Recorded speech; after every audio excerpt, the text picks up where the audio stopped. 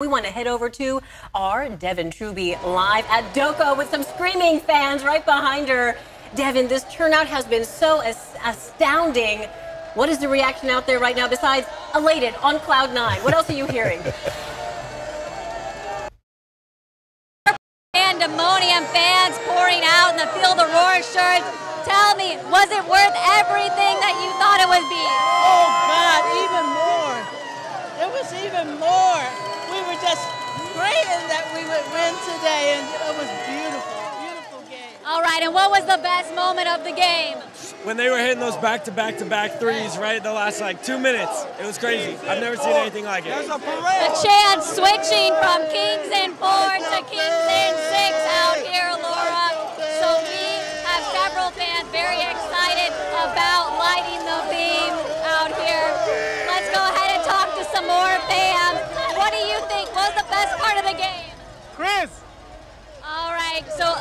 much excitement out here, Chris. Laura, we're gonna send it back to you. We'll check back in a little bit. I mean, it's almost like a mosh pit, isn't it? Everybody is coming out. The and everybody- energy. The celebration is underway because it is a historic night for the mm-hmm. Kings, huh?